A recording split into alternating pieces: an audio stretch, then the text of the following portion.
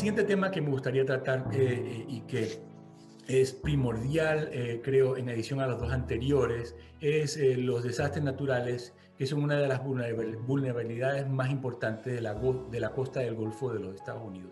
¿A qué me refiero con la costa del Golfo de los Estados Unidos? Bueno, pues es el área de eh, la costa eh, entre Texas y Luisiana, donde se concentra más de un 80% de las unidades de producción, ya sea de materias primas como de poliolefinas en sí mismas. Y eh, en el caso que el mapa que le estoy presentando aquí eh, son los proyectos que estuvieron, que estaban planificados en producción de polietileno en la región. Como ven, más del 90% de estos proyectos se eh, construyeron en la costa de Texas y la costa de Luisiana. Entonces, ¿por qué esto es relevante? Porque esta es una costa que es proclive al impacto por huracanes. Y de hecho 2020 eh, no solamente nos trajo una pandemia, sino que además nos trajo 30 tormentas tropicales con nombre durante el año.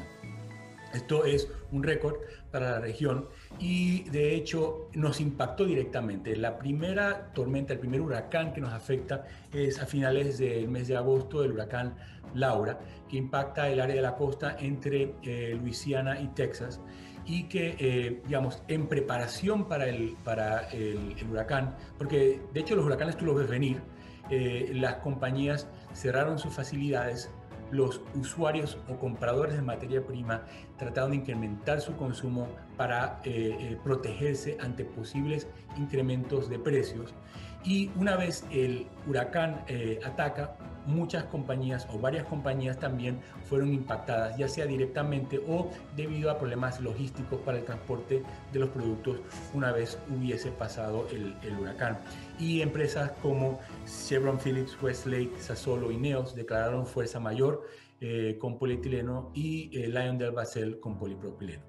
Bueno, si esto fue a final de agosto, un mes después tenemos una segunda tormenta, en este caso el huracán Delta, que eh, impacta la costa del Golfo solamente a 13 millas de donde impactó originalmente el huracán Laura. ¿Okay? O sea que si las compañías estaban tratando de recuperarse, tratando de rearrancar, esto lo que hace es alargar todavía más el periodo de recuperación del suministro de, polímeros. Y cuando veamos eh, la evolución de los precios de los plásticos, lo que vamos a ver es que durante los meses siguientes hay un incremento continuado de los precios a medida de que la demanda de poliolefinas sigue fuerte o va mejorando a medida que, que, transcurre el año y no hemos podido resolver completamente los problemas de suministro, entre otros problemas para la industria que afectan a los precios. Llegamos al mes de enero. En el mes de febrero tenemos lo que se puede decir un desastre un poquito peor, aún si cabe, eh, que los huracanes eh, y fue, eh, fueron las, digamos, tormentas invernales que afectaron el, todo el sureste de los Estados Unidos, pero en particular al estado de Texas. ¿Por qué digo en particular al estado de Texas? Porque para ser una de las economías más grandes del planeta, si fuera un país independiente sería probablemente la, entre la quinta y la octava economía más grande del mundo, pues esta economía fue tuvo, sufrió un parón repentino debido a pérdida en su capacidad de producción de electricidad, con eh, eh, blackouts o cierres de, electricidad en, en, todo el estado, afectando no solamente a consumidores, sino también a usuarios industriales.